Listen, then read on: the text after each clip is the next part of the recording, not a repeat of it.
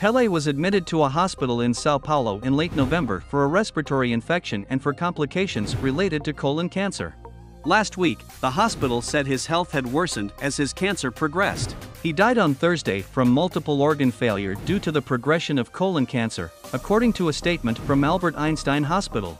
For more than 60 years, the name Pele has been synonymous with soccer.